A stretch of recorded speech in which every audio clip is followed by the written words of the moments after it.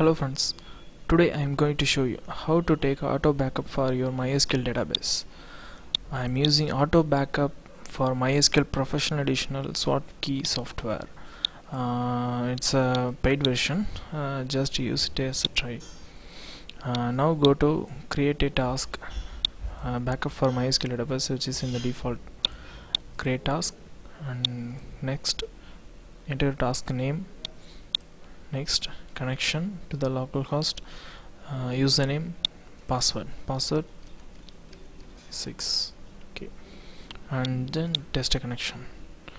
If it fails means uh, your server didn't start.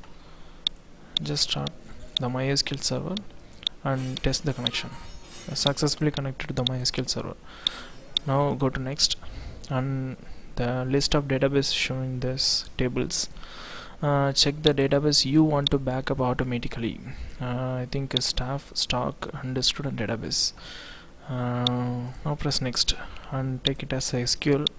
And where you want to mm, backup your data press data desktop. Uh, and then next.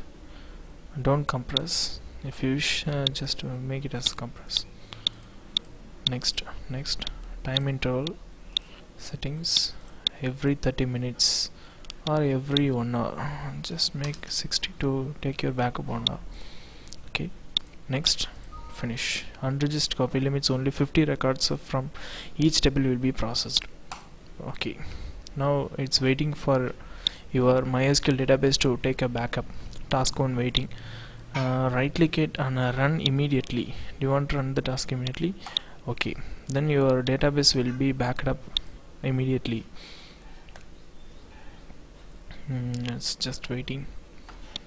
After the backup has been taken automatically it will wait for another task for uh, 30 minutes or for one hour. Uh, it will continue and if you want to take your backup uh, just go to the uh, desktop localhost it's the SQL file. It's a backup file for your MySQL database. Just copy it and say, keep it in your safe place that's all. Thank you